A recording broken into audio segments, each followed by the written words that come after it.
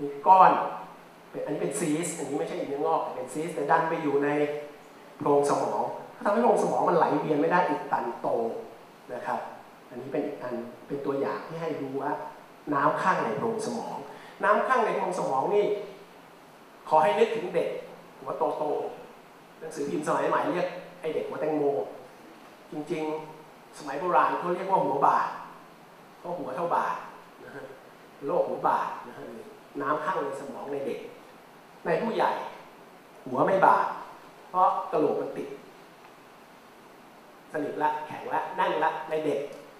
รอยตะเข็บกระโหลกหรือกระหม่อมยังไม่ปิด เมื่อน้ำมันข้างจากการไหลเวียนไม่ได้ด้วยความผิดปกติแต่กำเนิด มันก็สามารถขยายหัวออกมากะโหลกขยายออกใหญ่ออกใหญ่ออกใหญ่เท่าไหร่ก็ได้ใหญ่จนไซส์แนวเลยก็ได้ ถ้าช้าเกินไปสมองบางกว่าหนึ่ง หนึ่งหนึ่งเซ็นแล้ว รักษาไปก็เท่านั้นก็จะไม่ได้อะไรกลับมา เพราะเซลล์สมองไม่ไม่ไม่โตแล้ว แต่ถ้าเราวินิจฉัยได้แต่แรกก่อนที่มันจะโตมากเรารักษาได้อย่างนี้เป็นต้นแต่ในผู้ใหญ่ถ้ามีภาวะอย่างนี้ มันไม่ได้เกิดจากผิดปกติแต่กำเนิดมันเกิดจากการไหลเวียนไม่ดีหรือมีก้อนหรือมีอะไรไปอุดสมองมันโตไม่ได้แล้วไอ้โทษกระโหลกศีรษะมันโตไม่ได้แล้วมันขยายไม่ได้แล้วอะแต่พอสมองมันโตออกออกออกมันก็เบียดเนื้อสมองก็ปวดหัวก็เกิดอาการก็ต้องรักษานะครับ อันสุดท้ายที่ผมพูดเอาไว้ ก็คือติดเชื้อในสมอง ติดเชื้อนิดๆหน่อยอาจจะอักเสบติดเชื้อมากๆกลายเป็นฝี เป็นฝีเป็นหนองเกิดขึ้นนี่เป็นโพรงฝีในสมอง ดูจากเอ็กซเรย์เห็นห้าเป็นฝีในสมอง ฝีในสมองมาจากอะไร ก็มักจะส่วนใหญ่แล้วมาจากไอ้หนองหรือการอักเสบที่มันแถวแถวหน้านะมาก่อนเลย ฟันผุนะฮะหูน้ำหนวกไซนัส แล้วมันก็ลามเชื้อติดเขาไม่อยู่เพื่อนบ้านข้างเคียงนะครับบ้านเพื่อนไฟไหม้บ้านเราก็ต้องถูกไฟเสี่ยงการถูกไฟไหม้ได้ ภาษิตโบราณบอกไว้ เมื่ออัคคีไหม้เรือนแห่งบ้านเพื่อนนั้นไซร้เรือนสูเองก็ใกล้เหตุร้ายปานกัน เช่นเดียวกันนะครับอันนี้เหมือนกัน สมองอยู่ใกล้กับโพรงจมูกใกล้กับหู เมื่อมันมีติดเชื้อ สมองก็รับเชื้อโรคเข้าไปด้วย แล้วก็กลายเป็นหนองขึ้นมาในนั้น แต่ไม่ใช่เสมอไปบางทีเป็นฝีที่หัวแม่เท้า อาจจะหลุดเชื้อโรคหลุดมาในเส้นเลือดแล้วไปติดในสมองก็ได้ผมพูดให้มันโอเวอร์ไปนี้กันนะว่าอยู่ที่หัวแม่เท้าแต่จริงผมพูดเพื่อให้เข้าใจว่าไม่จำเป็นต้องอยู่ที่บ้านใกล้หรือเคียงก็ได้ อันนี้เป็นตัวอย่างของฝีในสมองอีกก้อนหนึ่งซึ่งใหญ่มหาศาลมาก พวกนี้การรักษาก็ตรงไปตรงมา เป็นฝีที่ไหนก็เจาะเอาหนองออกที่นั่นแล้วมันก็หาย เพียงแต่ว่าเป็นฝีที่ก้นที่ขาที่น่องมันปวด ตุ๊บตุ๊บตุ๊บเจาะออกก็หาย เป็นฝีที่สมองมันไม่ปวดแบบนั้นเพราะไม่เห็นมันอยู่ข้างในกระโหลก แต่มันปวดหัว มันมีไข้ แล้วก็มีอาการเหมือนเนื้องอกได้ทุกอย่างทุกประการ แต่เมื่อตรวจแล้วเป็นหนองแน่ ก็เจาะเข้าไปดูดหนอนออก ให้ยาฆ่าเชื้อก็หายเช่นกัน ถ้าไม่สายเกินไป อันนี้เป็นตัวอย่างเอามาให้ดูเล่นๆว่า แม้แต่ บิดอะโรคบิดมีตุโรคบิดมีตัวทั้งหลายเนี่ยก็สามารถอันนี้เป็นแผลจากเป็นฝีที่เกิดจากตัวจากจากเชื้อโรคบิดโอเค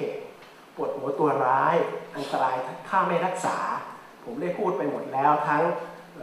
เกี่ยวกับเลือดหลอดเลือดแตกจากอุบัติเหตุ หลอดเลือดผิดปกติ หลอดเลือดโป่งพองแตกหลอดเลือดดำแดงติดต่อกันแตกผมได้พูดไปแล้วถึงเนื้องอก ผมไปพูดไปแล้วถึง น้ำในโพรงสมองข้างพูดแล้วถึงฝีถึงหนอง คราวนี้ก็สรุปให้ฟังว่าทั้งหมดมันก็มีอยู่แค่นี้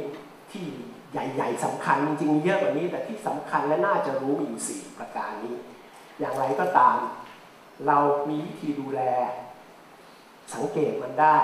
ทวนที่อาจารย์สุธิดาพูดอีกครั้งหนึ่งว่าอะไรที่ทำให้เรานึกถึง